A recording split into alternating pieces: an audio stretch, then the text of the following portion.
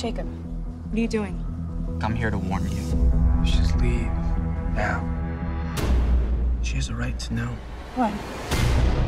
We've been tracking the situation in Seattle for a while. Unexplained disappearances, killings.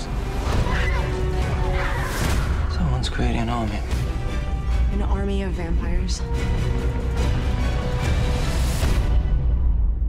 They're coming here means an ugly fight with lives lost. We're in.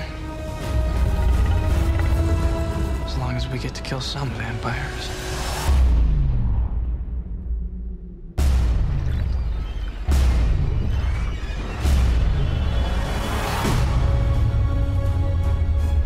It's time. Yes, it is.